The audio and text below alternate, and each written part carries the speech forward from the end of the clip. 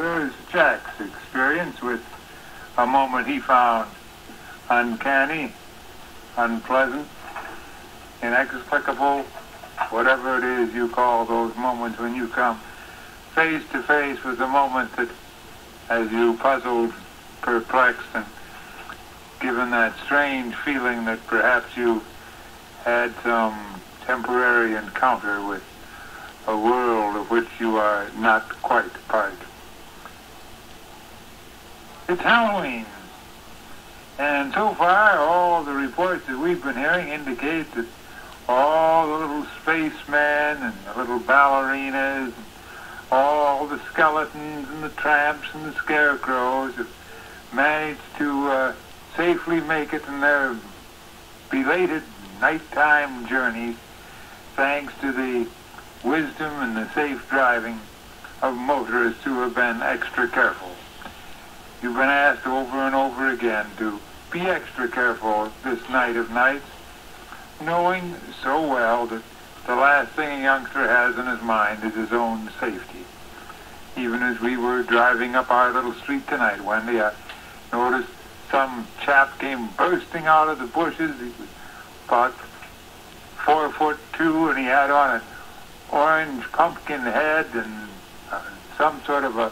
And the rest of him was a skeleton, but he wasn't watching our headlights. He wasn't. He didn't even know that was a car along the road there, but we saw him. But maybe because we listened so well this Halloween to the uh, warning given by West Penn AAA, we can kind of keep it in mind for a while yet. Let's let's remember and continue to watch the little ones.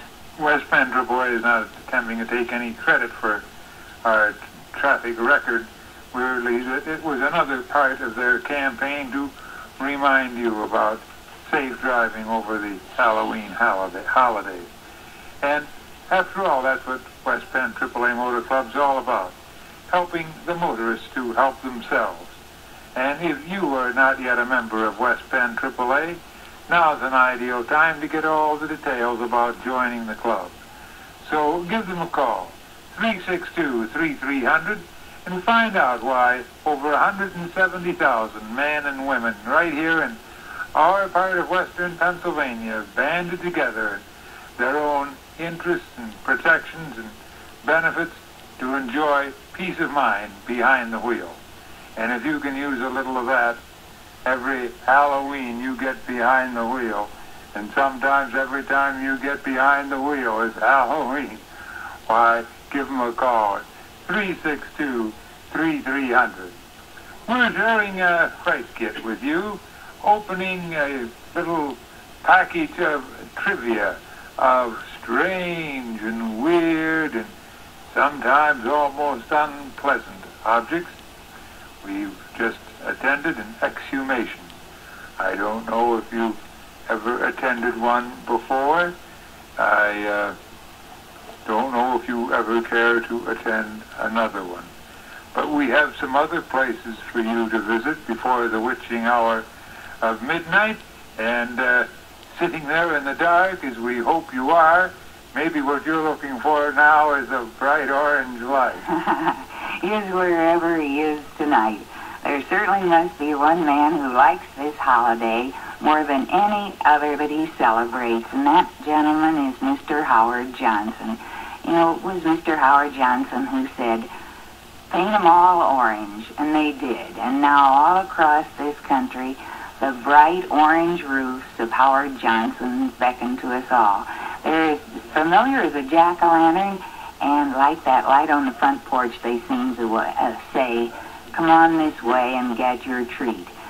So whatever else you've done tonight, Mr. Johnson, wherever you are, happy Halloween, because you sure do like that Halloween color, and you sure must have always enjoyed handing out the treats.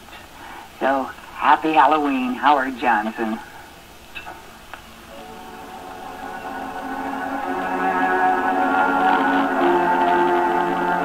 Lights Out.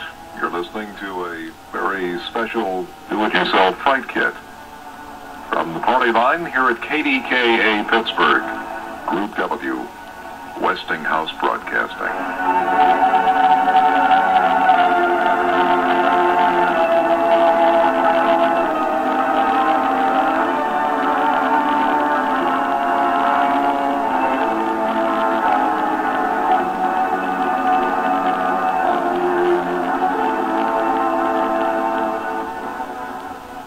Oh. Should run. But some cars have a problem called hesitation.